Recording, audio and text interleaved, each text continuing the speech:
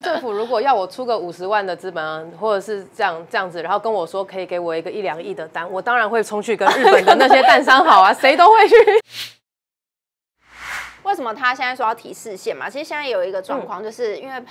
民进党的担心过往就是有一些案子可能会被掀出来，第一个首当其冲就是超时这一条。好，今天这个民众党在立法院党团这边，他们也有办了一个记者会，然后就有提出了许许多多的一些有关于在超市这家公司当时可能在签约这种专案进口蛋的时候有一些猫腻。那我们请友谊来跟我们分享一下。今天早上的时候在党团，这个是由黄国昌委员、国昌老师，还有这个张启凯委员、凯哥一起举办的一个超市蛋的这个呃记者会。嗯，因为其实大这件事情虽然在选举期间烧得很热，然后选举过后，我们会发现社会大众大概这个注意力已经转到别的地方去了。嗯，可是呢，我们民众党的立院党团其实还是非常努力的在追查这件事情，因为这件事情你不论从外观上看，还是各种的，你你光从一个旁观者看，都会觉得他太奇怪了，他太奇怪了。好，那今天就被这个呃国王老师还有凯哥踢爆了一些他们相关的谎言。那首先第一个呢，就是超思，它其实是在二零二二年这个九月的时候成立的。那你知道他们那个时候，就二零二二年二九月二十七号的时候。它的款项就下来了，嗯嗯嗯，很奇怪哦，一个新的这样子 蛋行的这个公司拿到大单，日本的那个大单是日本大单。那当然之前是说，哎，是不是巴西的蛋？不是不是，这这一次看到的是他们要从日本进口蛋，嗯，而且是在它成立之前，对，成立之前呢，这个这个农业部就已经谈好了，是和畜产中央畜产会就已经确定要给这个超市，所以目前看起来推断是因为都已经。这个叫做内定好了，嗯，所以二零二二年九月初的时候，九月的时候，超市就立刻成立，然后呢，这个款项还拨的非常非常的快，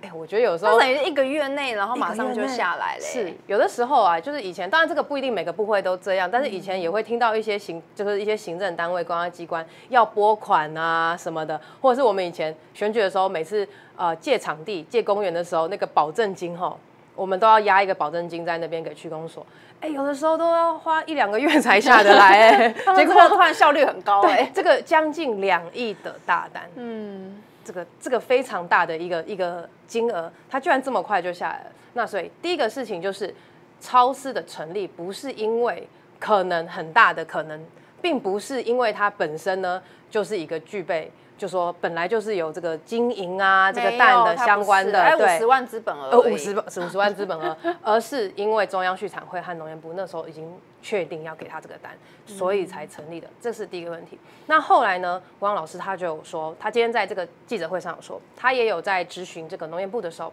他就问说，哎，啊奇怪，为什么那这个为什么一定要给超市？超市一个五十万的资本额的这个蛋行，那他们就说，因为这个单。只有超市可以接，这个是这个只有他能。然后他是他是那个负责人，是跟国外关系很好，是这个就不知道就很神奇，就是好像很神通广大。那国航老师就说还有继续追问，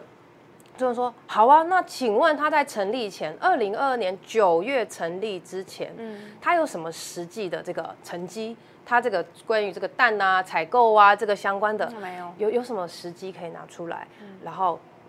农业部说：“哎，不知道，不知道，不清楚，不了解，不是很了解，不是很了解，不熟不熟，对，不熟。那那你都不了解了，你为什么前面会说 只有他可以解这个案子？对啊，所以这个中间就让人有非常非常多的问号。那再加上后来呢，像是这个也也被踢爆了。这个我们看哈，本来进口的是十五箱，十五万箱，对，结果最后付了十八万箱的钱。”哎，中间差了三万箱哎，它差了六百万，是不是啊？对，六中间差了六百五百万到六百万颗蛋，这个问题中间为什么会差这么多？而且你款项还付下去，嗯，这也是一个很奇怪的事情。好像没合约，对他们也 没有合约，所以后来这每件事情被爆出来，就觉得很奇怪。然后呢，当时立法院这边，我们想要党团这边想要请农业部提供合约资料的时候，他们也以是什么？这个这个部分要保密为主，那就后来发现需要保密的是乙方，乙方是就对方并不是我们就是农业部这边，嗯，所以他就以各种各样的慢慢挤牙膏，你要一直问他，他才成为挤一点给你，挤一点给你。那后来发现呢，好像没有合约，目前还看不到。那凯哥也后来他也问说，这个很奇怪哈。当时进口蛋的那个时间点，哦，日本蛋时间点，日本发生禽流感。对啊，所以就大家就会觉得说，那你都已经有禽流感的情况之下，然后你还从日本进口，而且它的价格还比较高。对，所以我们大家就会觉得，怎么会有这么多奇怪的事情？然后，而且呢，全部都让一家只有五十万资本额的 超市去标到。所以今天的记者会是非常精彩，把所有超市的问题都一一的打出来。嗯，没错，这边这个就有网友就讲说，对啊，这样子还好意思视线，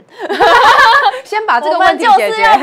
查出来好不好？对，这个真的是。太夸张，对啊，这就是刚刚有也有提到的，农业部就少报了六百万颗的日本蛋，是，然后大家就会觉得说，因为当时他巴西蛋应该是七亿的大蛋，那个时候本来大家是想说巴西蛋就已经蛮扯，但后来发现哦，原来他在成立前其实就已经有拿到，应该就算已经内定到了日本单单了，对，那等到它成立之后就很立刻的，哎，这个没有错，我就是有这个单，然后款项也很快就下来，是，所以就发现哇，这真的这老板感觉要蛮厉害的，这他。他除了跟国外的这些可能你知道农场或者什么的也认识，然后可能也可以进口这么大量的一个单，然后他的政商关系也很好，所以可以拿到。不是啦，政政府如果要我出个五十万的资本，或者是这样这样子，然后跟我说可以给我一个一两亿的单，我当然会冲去跟日本的那些蛋商好啊，谁都会去，突然变得很神通广大，对，一定就是拼了命也会拿到啊。所以对，所以这个很。我们现在还是要继续追查下去了，对，那当然，因为本来这个国会的这个调查来说。这个行政官员应该要好好的善尽义务的这个回答这些问题，但目前他们还是以挤牙膏的方式。那我想这就是为什么那个国会改革目前挚爱就是挚爱在难行挚爱的难行，是因为民进党要保密。然后这边有网友讲说保密哦，保谁家的密？